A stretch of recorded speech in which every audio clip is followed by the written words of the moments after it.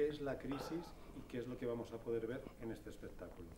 Pues eh, vamos, no vamos a descubrir nada nuevo, vamos a intentar ver la crisis con un poquito más de sentido del humor y dentro de, lo triste que es a lo mejor el, espectro que tenemos ahora en nuestro país, pues hay que tomárselo como hemos hecho siempre los españoles, coño, con alegría. ¿Cómo durante estos diez últimos años la vida y el porqué de la vida la has pasado a rayar en crisis? Eh, yo no he tenido la culpa de eso, Galán. Quiero decir, yo he pasado por la vida y he pasado, tengo una edad donde he vivido con Franco, luego he vivido con UCD, con eh, Felipe, eh, con, todos. Entonces, eso te da, por ejemplo, una capacidad de haber pasado todo ese tiempo, ¿no? Y francamente yo lo que me siento es decepcionado. ¿Quién se va a sentir más molesto con tu espectáculo, la banca, los políticos o la iglesia? La iglesia no creo.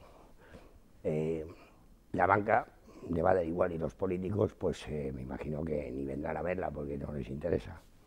Posiblemente la noticia del día, la noticia del siglo incluso, o al menos la de este mes, es la, la, dimisión de, Benedicto XVI. Mm. ¿Qué te parece que haya dimitido el Papa y que no haya dimitido Ana Matos o Ana Botella?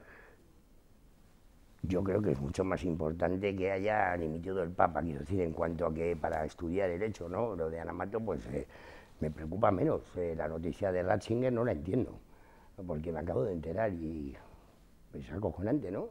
Yo me imagino que es una maniobra del Vaticano, está cansado, dimite. Yo no había visto en la historia un papa que dimitiera, que no sé si es el término adecuado, y me acabo de enterar ahora mismo, me ha pillado, porque es que eso no lo he visto en mi vida. Es nuevo para mí que diga un papa, yo me voy. ¿De qué nos hablas en tu espectáculo?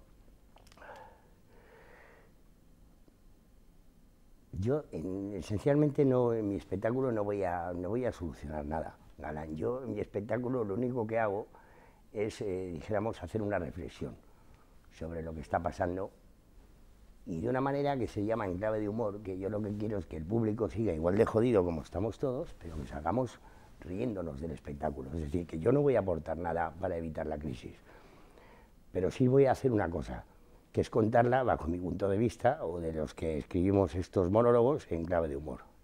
¿Van a haber sobres en tu espectáculo? No. no. ¿Con quién nos vamos a encontrar?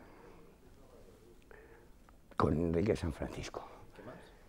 Con Alfredo. Y yo creo que nos tenemos que encontrar con que cuando salga la gente del espectáculo no haya solucionado, ni mucho menos Dios lo pretenda, pero que salgan descojonándose descojonándose cuando de algo que realmente no es para reírse, pero que yo creo que hay que reírse, ¿no? que es lo bonito. O sea, la vida en clave de humor siempre es más agradable, Galán. Muchas gracias. A vosotros.